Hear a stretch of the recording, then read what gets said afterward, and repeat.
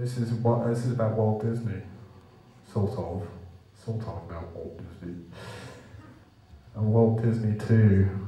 Uh, okay, I'm talking to a turd about the weather. I have five nipples.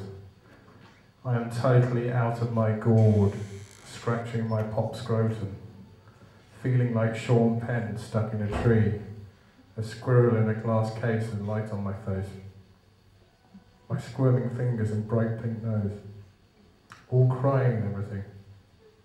Sean Penn always gets stuck in different places, like in a fridge or rifling through the drawers of unknown pharmacies at ungodly hours of the, of the morning. But thanks a million for basically not disrespecting me. It seems that the great Christmas tree wars are set to continue into the future, and by then I'll be only one drink away from total oblivion. Sean Penn is turned completely inside out when I see him enter the pharmacy next, 3.30 in the morning, the time when I feel most like a cartoon.